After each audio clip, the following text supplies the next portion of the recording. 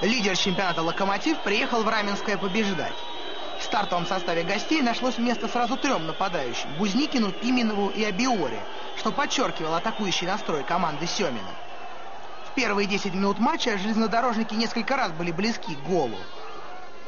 Получив мяч от Ликхета, Бузникин сместился с фланга в центр и остроумным пасом вывел на удар Абиору, но Чижов правильно выбрал позицию и нейтрализовал нигерийскую угрозу.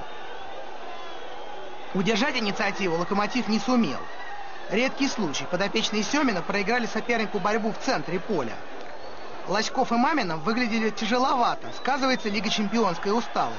Горшков использовал свободу, которую ему предоставили игроки «Локомотива». Первый удар восьмого номера хозяев Овчинников пусть трудом, но отразил. Вскоре голкиперу сборной России вновь пришлось выручать партнеров. Атака с участием Муратовича и Йовича показала, что и оборона гостей от идеального состояния далека. Отсутствие Пашинина вряд ли оправдание.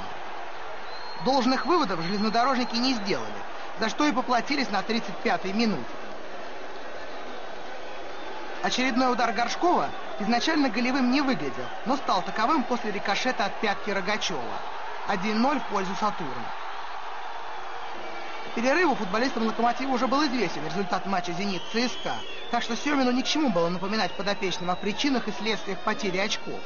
Второй тайм гости вновь начали за здравие. Центральной фигурой в атаках Лока неожиданно стал Игнашевич, после замены Маминова перешедший в полузащиту. Защитник Хавбек едва не сравнял счет, но до чужого сыграла штанга. Нападающие локомотива много двигались, но переиграть организованную защиту Сатурна им удавалось нечасто, в основном за счет индивидуальных действий. Бросив все силы в атаку, подопечные Семина рисковали получить опасную контратаку и получили на 73-й минуте. Муратович бросил в прорыв Медведева, форвард выиграл забег у Нижегородова и пробил под опорную ногу Овчинникова.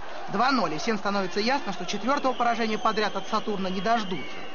Все оставшееся до финального свистка время железнодорожники провели на чужой половине поля. Последним аргументом Семина стал выход на замену Жулио Сезара.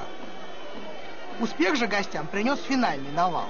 Ликхета навесил штрафную, Лоськов с лета переправил мяч Евсееву, а тому оставалось лишь не попасть в Чижова. В распоряжении железнодорожников оставалось еще 120 секунд, но их, как и следовало ожидать, не хватило. Не принесла удачи попытка выпросить у судьи Гвардиса дополнительную минуту. 2-1 победа Сатурна.